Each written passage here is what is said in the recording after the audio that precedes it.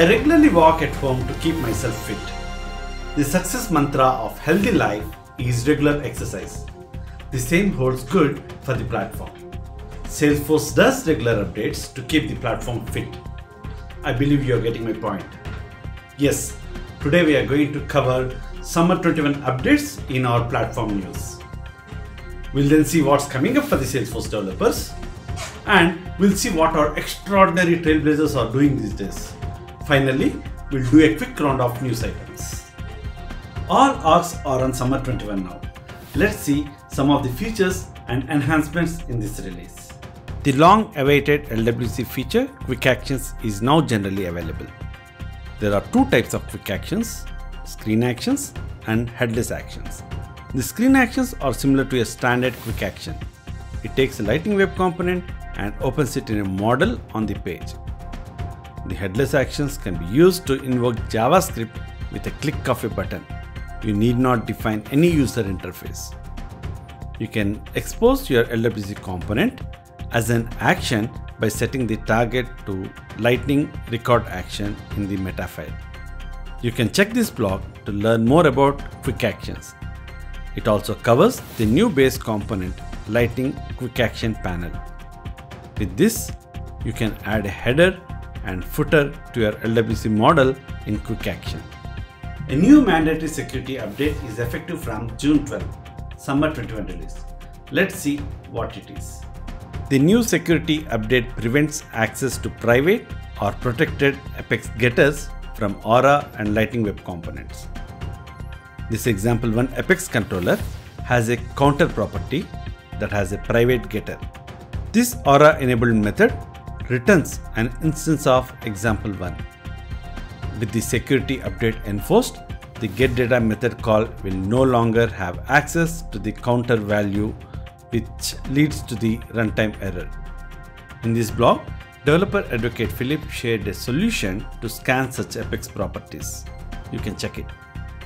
You can now implement much better user experiences with the new multi-column screens in Flows. Here I am in Flow Builder. I have a contact info screen where I can enter the contact details. Let's run it. You can see that it has a linear layout of input elements in a single column. Let's go back to the Flow Builder and edit the contact info screen. Here you can see a new component called section. Let's drag and drop into the screen. On the right side bar, you can add columns to make it multi-column. Let's add a couple of columns. Let's now organize the input elements in these columns by dragging and dropping. Let's save it and run once again. Now you can see the newly designed user experience in action.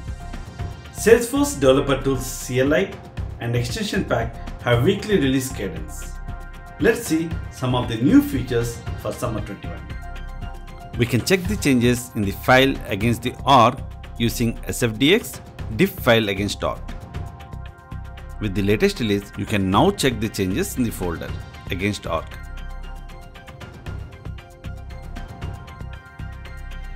Here you can see so many files changed in my classes folder. Now let's see what's new in CLI.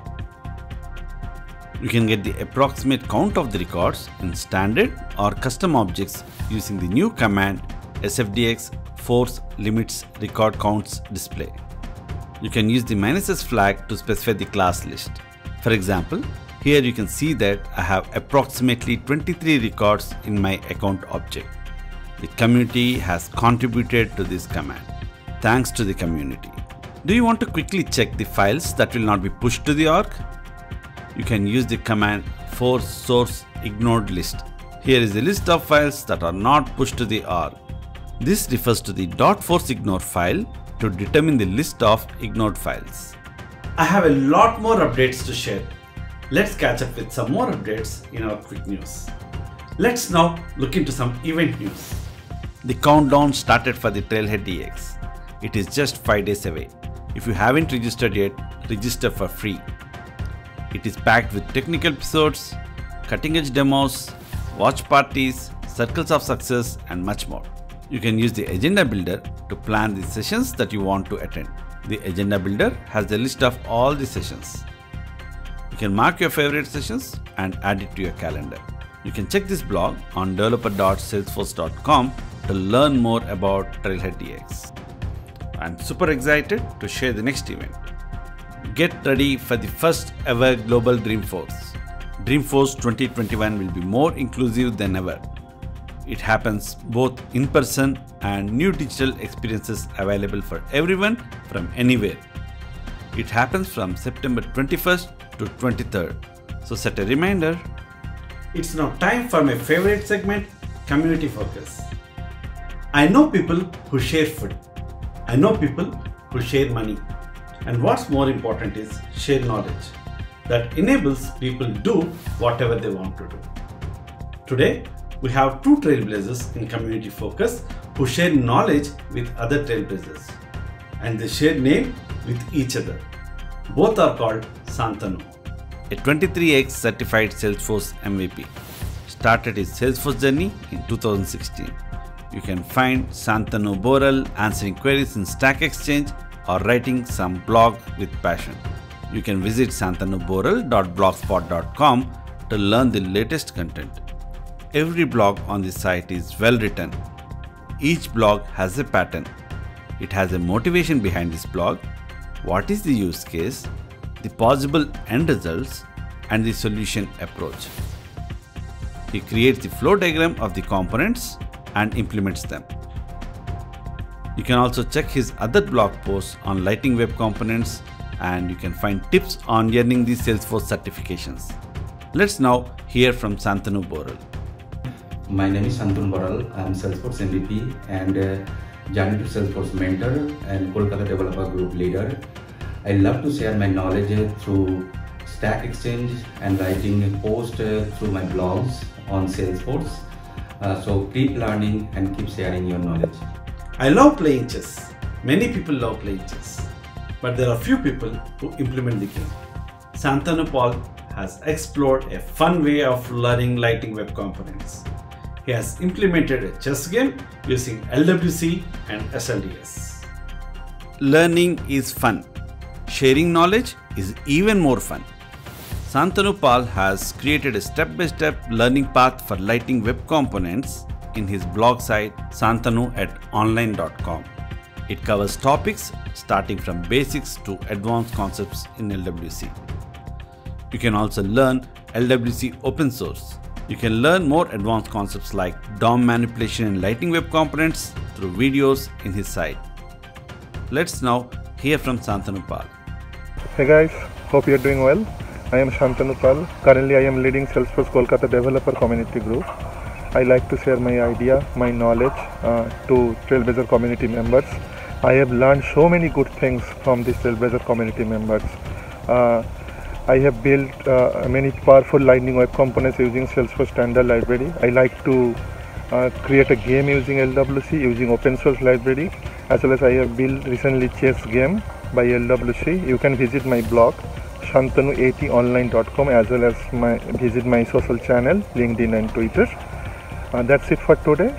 Continue learning, keep breathing, be healthy and stay safe. Thank you everyone. Both Santanus do a lot more together. They lead the Kolkata developer group and have created a Telegram channel which is very dynamic. Thanks to all the trailblazers who are helping each other through the Telegram channel and a special thanks to both of you, Santanu Pal and Santanu Boral, for whatever you are doing for the community to achieve success. Now it's time to wrap with a quick round of news items. Building your own LWR template is now available in all supported editions without purchasing CMS. Previously, the template was available in Developer Edition or when you purchase Salesforce CMS in Enterprise, Performance and Unlimited editions. Build your own LWR template now includes a theme panel.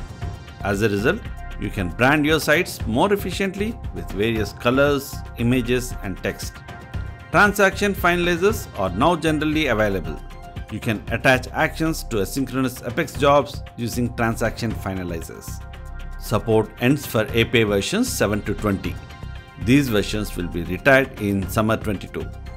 You can now upload more data to enhance model accuracy for Einstein object detection. The image dataset can be a maximum of up to 10 GB. It was 2 GB earlier. That's all for today's news. I'll get back to some stretching exercises. Keep trailblazing. Your opinion matters a lot to us. Please let us know your thoughts in the comment section below. Also, like and subscribe for more videos.